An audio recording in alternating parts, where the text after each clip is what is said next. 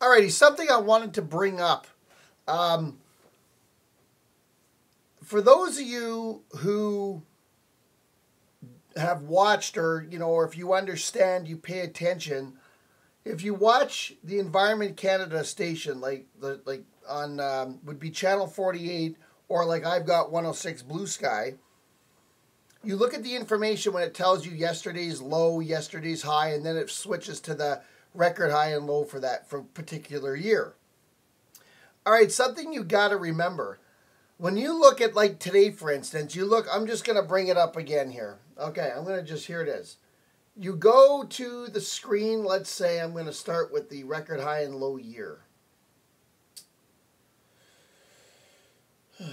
Hang on a second, got to get there. Okay, here we go. Now, just according to this, I mean, these numbers may not be any like this, and they could have broken over the last 10 years, and we wouldn't know because of their shitty software. Okay, 31.1 degrees Celsius for May 11th, 1940. Now, the overnight low, 1946, like in, from midnight till 6 a.m., that's considered overnight hours, minus 9.4. Now, you look at that and you say, oh, minus 9.4. But I'm going to show you guys something. Now, you look at yesterday's low. Overnight low, you're going to ask overnight low. Shows minus 8 at Winnipeg Airport. Why did I say minus 7? Two things. Number one, that overnight net low is not from last night. It's or it's not from.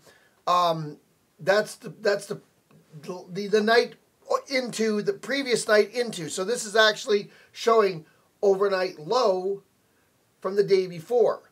Now minus eight. Why does it say as of as of the five a.m. reading on the website for overnight May tenth?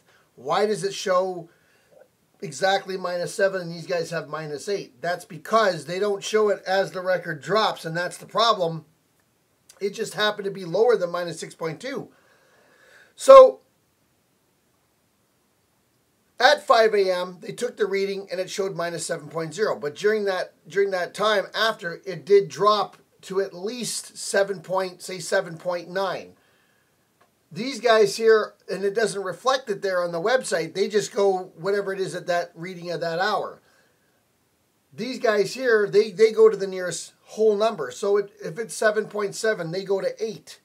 Um, and that's the shitty thing here. They showed degrees and tenths, tenths of degrees. Why don't they reflect that when they show the overnight lows and, and the yesterday high numbers? Like yesterday's high was, was 11 degrees at the airport. Now it was probably like 11.3 or 10.9. They round it. Why not just show that tenths of degrees and show what the actual temperature was? You're doing it for everything else. Why not do it for there as a final reading? Minus 8, that's Thursday morning, not overnight Thursday into Friday. So that's why some of this information, some people get it mistaken. They go, well, we broke the record for. No, that was for the night before. They don't update it to that morning. At least that's what I've been told. And I've looked at it before the numbers are just funny. Now you check the website, they're different. They don't show, these guys show, like on channel 48, channel 106, they show as of this time. Well, at that time, when they look, oh, there's the number, the numbers will fluctuate up and down. So if a record's broken, they don't show it as the record's broken. They, they show, oh, well, we'll do the next reading in 45 minutes. Well, you would never know if the temperature went up or down, even if you broke the record you would never know according to these guys. Same thing with the website. They show it per hour, not as it's happening, which to me is exactly the whole purpose of weather information and reading weather for that reason, for that purpose.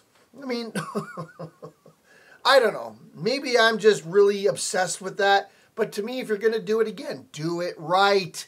So some of the numbers can be very confusing.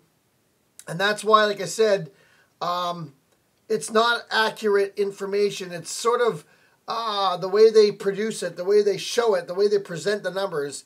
It's uh, the reading is not right. Um, so there you go. There's a lot of people will see that and go, "Oh, we broke the record," but we didn't because that was showing the night before or the morning before, Thursday morning, not Friday morning. Well, then why overnight low? Well, you uh, you that's a good question. You maybe ask them why they do that. It's kind of dumb.